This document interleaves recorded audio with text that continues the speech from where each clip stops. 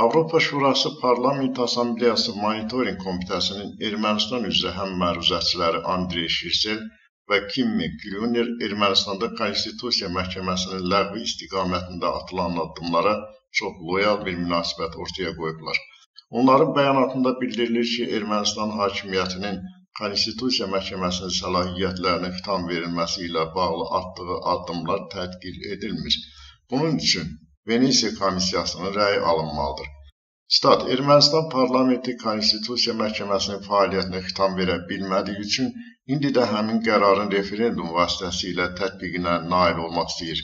Konstitusiyaya bəzi düzəlişlərin edilməsini nəzərdə tutan referendumun keçirilməsində başlıca məqsəd Konstitusiya Məhkəməsinin üzvlərinin səlahiyyətinə xitam verilməsidir. Statın sonu.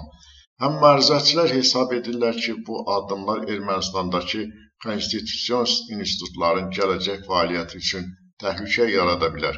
Onlar referendumun keçirilməsinə də etiraz etmir, yalnız bildirirlər ki, bu məsələdə Venesiya komissiyasının rəyinin alınması bütün tərəflərin mövqeyini əks etdirə bilər.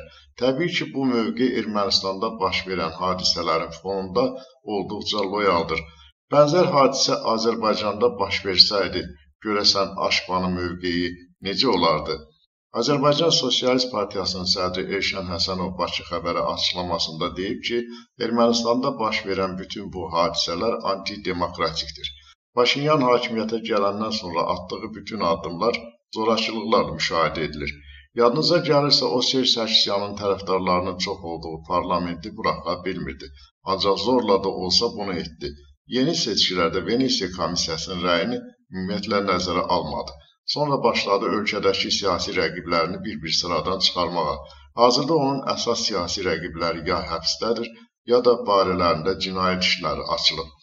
Ermənistandakı Konstitusiya Məhkəməsi Paşinyana müqavimət göstərən, onun sifarişlərini canla başla yerinə yetirməyən son qalalardan biri sayılır. Həmin qurumun ayrı-ayrı üzvlərinə qarşı həyata keçirilən təqib kampaniyası təzyiqlər nəticə vermədiyi üçün İndi qurumun üzvlərinin səlahiyyətlərinə xitam vermək qərarına gəliblər. Paşinyan güya bunu qanunla etmək istəyir. Ekspertin sözlərinə görə, bənzər hadisə əgər Azərbaycanda olsaydı, qurum çox fərqli bir mövqe sərgiləyərdi.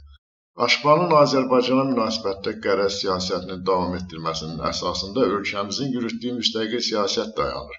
İstər Azərbaycan, istərsə də quruma üzv olan digər dövlətə qarşı Aşba tərəfindən sərgilənən münasibət heç bir halda həmin təşkilatın mövcud nizamnaməsi və əsasnaməsinə uyğun deyil. Bu təşkilatda bəziləri çalışırlar ki, ora üzv olan dövlətlər üzərində dominatlıq etsinlər. Bu baxımdan da Aşbanın artıq uzun illərdir ki, tutduğu istiqamət onun qoyduğu prinsiplərə uyğun gəlmir. Nəticədə artıq ayrı-ayrı ölkələr mövcud prosesdən digərlərinə qarşı cəza verici mexanizm kimi istifadə etməyə çalışırlar. Xüsusən də müstəqil siyasət yürüdən ölkələrə münasibətdə bu amil özünü daha aydın göstərir.